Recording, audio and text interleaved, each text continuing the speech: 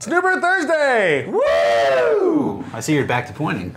I am because I've, I've found a better way to do it, That was gonna say and more to the and. I've been working my triceps. Bam, exactly. Oh, burning the fat bitches. This is actually the fifth time we've done that, so he can do like the fat reps. bitches. That's right. It depends where you put the comma. That is a comma statement. Exactly. Yes, I am not burning fat bitches. I love all of you. Um, I would never burn any of you. I am a fat bitch. Um, Well, you're my fat bitch. Anyway, Yeah, that was um, yeah, that was that was interesting. So what I, I feel today? very dirty right now. Don't be jealous, Matt. You're a skinny bitch. Yeah, yeah. You are a skinny bitch. One not- would say you're that maybe he doesn't work. You're not his In the skinny bitch, dichotomy. so I am his fat bitch, and you're not his skinny bitch. Anyway, this is already diverged into Yeah. unknown territory. Yeah, it really has. Uh, so we're going to be in Wisconsin today. No flies. No. No flies in Wisconsin. Um, although there are a lot of cow farms there. I think I thought Bells was in Michigan. Yeah, but we're drinking the bells in Wisconsin. Weren't you paying attention to the pre-show messed discussion? Oh. Yeah. No, I wasn't. Yeah, well, we're in Wisconsin. Yeah, Oh. they're in Comstock, Michigan. Because there's a dude in Wisconsin who owes me beer. You know who you are.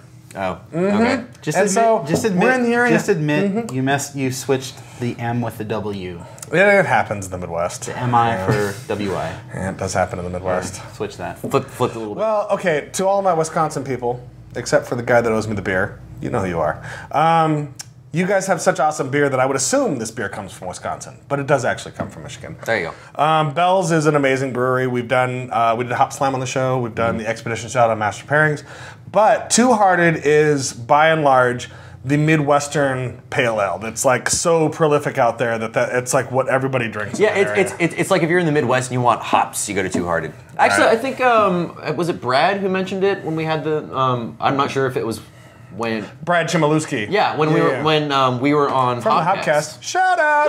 Shout out! Um, but uh, yeah, so he, he mentioned that as like if they want like you know a hoppy Right, beer right. out there, then Right, that's They're we hoppy had the pale ale, whole yeah. hop slam discussion on how it's like more of a well balanced Right. beer, Yeah. um, and it's like- and there he was like, well, Two Hearted is like really hoppy and good. yeah, yeah.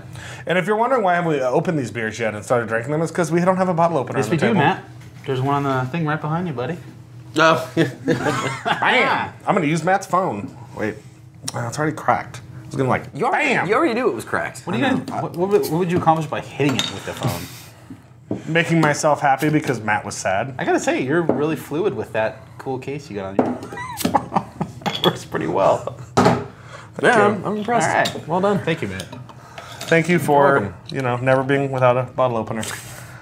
This beer's uh smelling pretty good. Mm-hmm. It's kind of citrusy.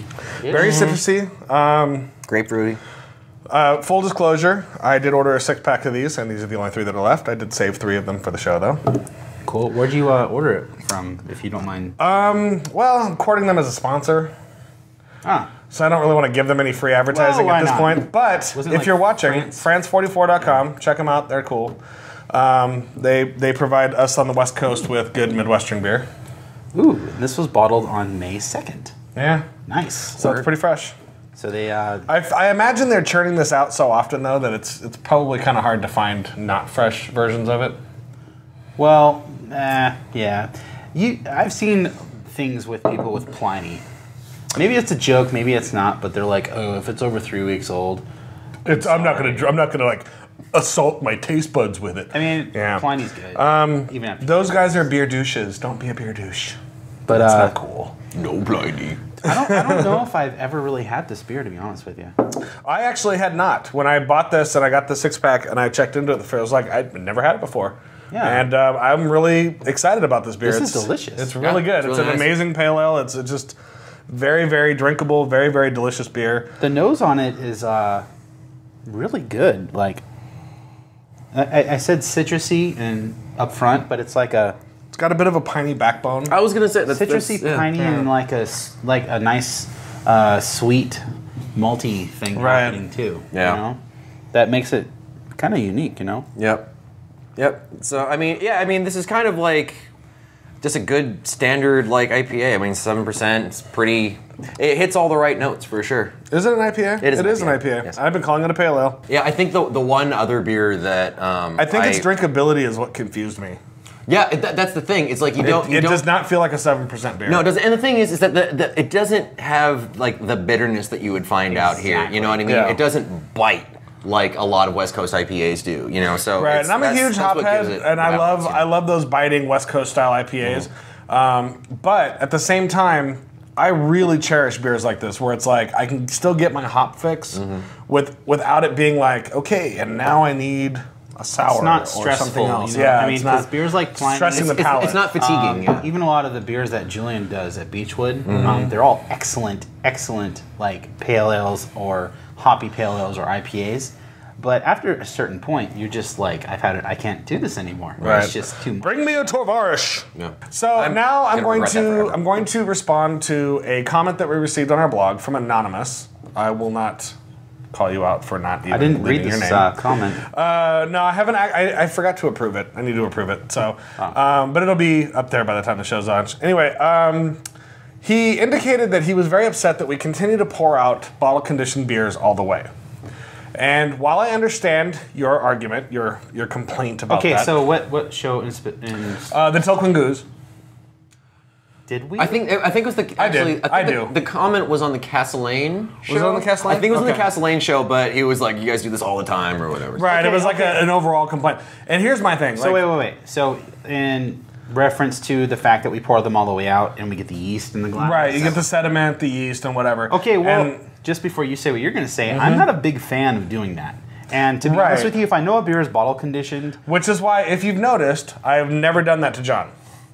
No. I've never poured a bottle out that way to John. and if you did, I'd be like, "What are you doing?" Right. But I personally like the yeast shot. I think it gives it a different body feel. I think it gives it a different flavor profile. It adds to the beer, in my opinion. I don't have a problem with the floaties. It like I don't mind having the yeast shot. In fact, I've drank the yeast shot on its own from mm-hmm. people that are like, "Oh, all that's left is yeast shot." I'm like, "Hit me with it," and I don't mind it. I think it, I think it adds something unique to the beer. It's definitely worth trying, and I don't mind tossing it into my beer when I'm drinking it. Right. Well, So that's- while I understand your complaint, and I'm sorry if it bothers you, it is kind of a personal preference thing. It's I- not something that is like, this is a rule. You cannot pour bottle conditioned beers out completely. I wouldn't do it with homebrew. Yeah, well, it it really depends, I think, because it's it's one of those things that you don't want to like if you're pouring out like glasses for everyone, you don't want to be like here's some for you, You don't want to you, some you, assume- and then right. you shot for you because then you know Right. this It's not one a person. Hefeweizen or a Whitler. Yeah, this person's getting Right. a completely different experience. But I mean, if it's like you and one other person, you're pouring beers or whatever. First of all, if you pour a glass, pour a glass, and there's still half a bottle left, that yeast is now in suspension. You know, I mean, you have to pour yeah, out the. You pretty much have to pour out the. Well, it depends. I mean, some beers will have much stickier, you know, Sediment. ye- sediment. But like a lot of times, you know, it'll get rustled up just by putting the bottle down. Sometimes do I? You know? I've, I've had bottle conditioned beers where you think it's carbonated in the bottle, right? Mm-hmm. And therefore there would be sediment at the bottom of the bottle. Right. I've had some that are they specifically say bottle conditioned, and there's nothing at the bottom. Right. Well, that and, And that, a lot sure of that has to do with the clarification. I think of the beer. Um, Well, it's, and it's not like I shook it up before I and the it. type of yeast. I think that less flocculent yeast is going to leave a lot less sediment and whatnot. Well, I, it really has to do with how particular the breweries are about how what kind of yeast or how much yeast they add um, to the beer after it's done fermenting. Like Sierra Nevada, for example, they'll um, have their finished beer. They'll filter all of the yeast out, and then they'll um, add back a very specific amount of yeast Just to carbonate. for carbonation purposes, right. Um, to which isn't going to leave a lot of shit at the bottom. yeah, exactly. Ma- mainly because they know exactly how much they need to add to carbonate and to leave as little sediment as Right. possible. So, I mean, you know, different breweries have different. So- you're, point- you're the saying being- um, it, it depends on the beer drinker. Right. The point being for me personally is that I don't mind that, and that's why I do it sometimes on the show. And- and I'm sorry if it bothers you, and I know that's probably not what you want to do, but I don't personally mind that little extra added flavor bonus. But it's also kind of a learning thing for everyone that's watching. If you don't know what bottle conditioned beers are, they're fermented in the bottle, Right. and you will have sediment at the bottom. Right. Nine times out of And ten. if you're pouring for other people, yeah, don't assume that they want that. Yeah. And try hard not to give it to them. oh to yeah, them. it's a total turnoff. Yeah, it is. especially no, really. Pouring pouring beer for other people is a lot like having sex. No, no, no. There's a lot of rules that you've got to learn. No, Like, you're- you know. I'm just. it just takes a gentle hand. I, I, I one Sometimes they to, don't want it all over their face. One that comes to. Can I talk now? One beer that comes to mind was uh, Mikkeller's Thousand IBU. Okay. I believe it was Thousand IBU. It could have been a different Mikkeller, but it was a A Mikkeller beer. it was a hoppy beer. Right. John Stock. And so um, this was really like early in New Brew Thursday for me. Right. But it was a probably a 12 ounce bottle, and I poured the whole thing into something like this, Right. and it was like thick. Yeah. And just shit floating everywhere. And I'm like, oh god, I didn't even read the bottle. Right. Of course. I didn't look. Yeah, I yeah. screwed up, and so it just ruined the experience of the beer for Yeah, me. I'm not yeah, saying it was. A, I can't say it was a good or a bad beer because in my head it was like this is uh, kind of Right. gross. Yeah. You know, so Yeah, yeah. just Early on, I had Look those at the bottle. Yeah, early on, I had those experiences too. But then um, it was, I think, it was actually Bill that taught me to appreciate the yeast shot. Um, you know, because that's that was something that he was. I, right, you know, I think he's kind of into that as well. So anyway, the reason I bring this up is we do get comments and feedback, whatever, and we appreciate that. We want to keep them coming. And so I thought it'd be kind of cool to start maybe addressing a few of those on the show occasionally. Yeah, So, yeah. If you have something to say, then like let us know. Say you know, it. I want to hear you know, your feedback. mind. Just So the, the, not on the moral YouTube. of this story is we know what bottle conditioned beers are and we know what's at the bottom of the bottle. Right, Yeah. exactly. We, we, we understand what we're doing. We're choosing to do it that Yeah. way. Anyway, so Bell's Two Hearted Ale, uh, two thumbs up, or six thumbs up, or whatever. Um, you guys do did amazing stuff.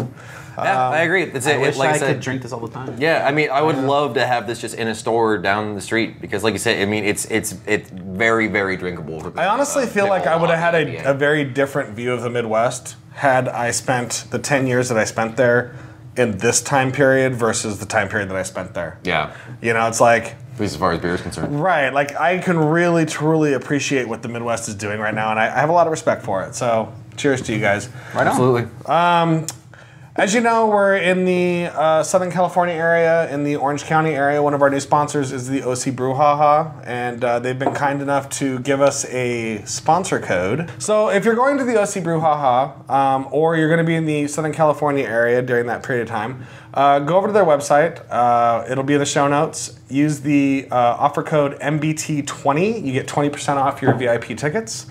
Uh, you also help support the show because it shows them like, hey, people are watching. So help us out. Yep. And buy tickets to a great event. Yep, And uh, come awesome. and drink beer with us there. Yep. And It'll be uh, fun. a portion of the money goes to the uh, Fallen Fire fa- Fallen Firefighters Fund, I believe it's called. Right. Um, So it's for a good cause. and there's uh, one of the local firehouses that they're not sponsors, but they're pouring there. Right. I, but I forgot the local number. It's like 36 something or 31. Well, and, and what I'll say about the OC Brouhaha as a whole is that, like, the first time I was told about it, it was like, hey, you should go and here's some tickets or whatever.